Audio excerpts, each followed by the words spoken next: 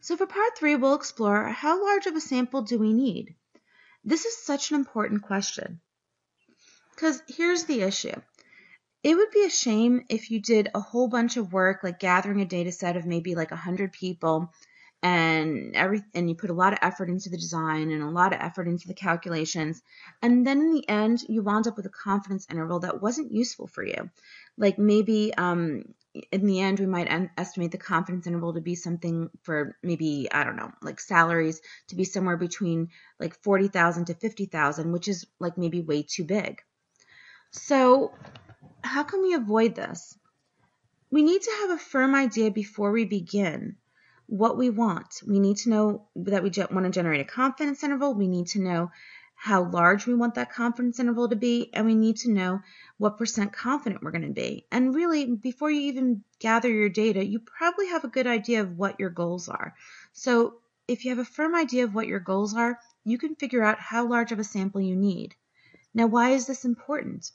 Well, if you generate too small of a sample, your interval is going to be too wide and not useful to you. But if you survey too many people, like let's say you took a sample size of 10,000 people, but you only needed 1,000 people to get the results you wanted, you just wasted a lot of time, resources, and money generate, you know, having the sample that you didn't need. So this is an important question before you even start your study. So suppose, for example, like before we even gather our data, we want to create a 90% confidence interval for the average GPA of all HCC students, and we want the margin of error to be no more than 0.2 uh, grade points. So how large of a sample do we need? Um, in order to do this, we will need to have an estimate of the population standard deviation, and let's say I estimate it to be approximately 0.7. All right, um, let's actually answer this question, but let's do it in a very generic manner first so we can get the formula. So we know that the margin of error um, when we use when we try to generate a confidence interval from mu, if we have a large sample, is going to be z times sigma over square root of n. So if we know a margin of error and we know some estimate for sigma and we know our confidence level, we could actually figure out what sample size we need. So let's just, uh, let me show you, walk you through the algebra real quick. Um, you will not have to do this algebra on the test. I will give you the final formula. So we have this formula. Um, we can start off by multiplying both sides by the square root of n to get rid of that square root of n on the bottom. And we get e square root of n equals z times sigma. Now divide both sides by e to get the n by itself.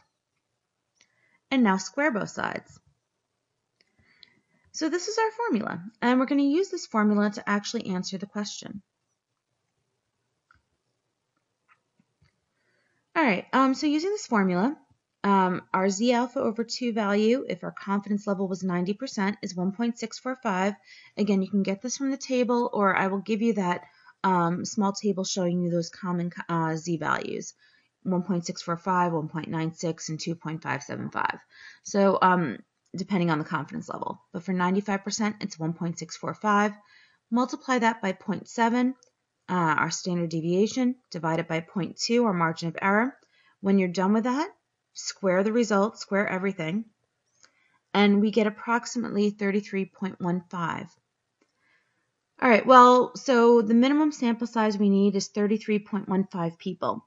Now I know that when you round, you're used to rounding, you know, whichever way is closer, but since we need a minimum of 33.15 people, we need to round this up because 33 is not at least 33.15. So in other words, round this number up always, and you're going to get that we need a sample size of at least 34 people to generate the interval that I'd want to generate.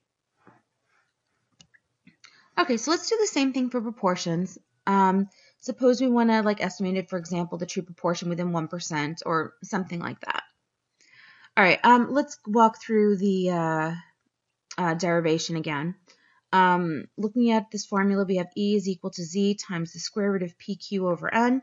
Um, with square roots, you can always separate them, so it's like the uh, square root of PQ over the square root of N.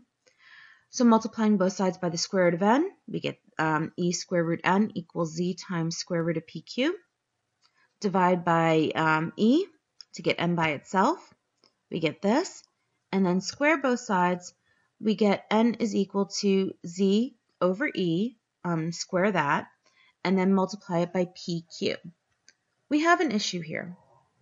Um, unlike before where maybe we could have some kind of estimate for the, our um, standard error or standard deviation or something like that, we don't have a previous estimate for PQ most likely. Um, remember, that's our actual goal here. Our goal is to estimate P. So if our goal is to estimate P when we do our sample and generate a confidence interval for it, we're not going to know PQ in, in advance. In other words, we have a chicken and egg problem here. What you know, we need one to do the other.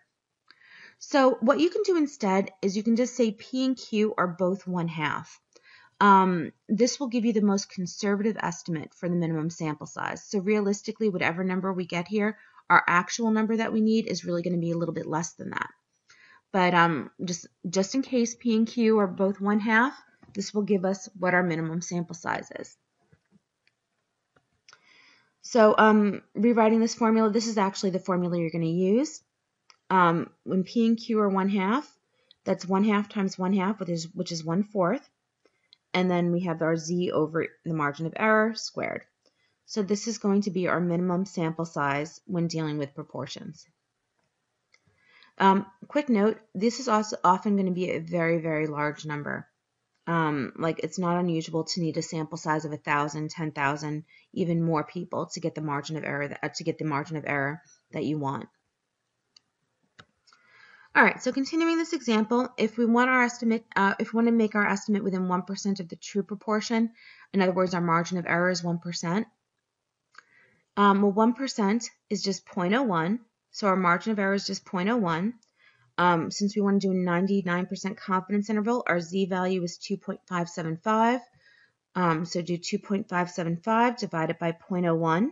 And remember, whenever you plug in percentages into formulas, you have to convert them to decimals first. So do that, then square it, then multiply that final result by one fourth, or you could just divide it by four, either way and I'm going to get 16,576. Yes, that large. So rounding this, we need at least, remember we have to round it up because um, we need at least this many people. So we need at least uh, 16,577 interval um, individuals to get the confidence interval that we want.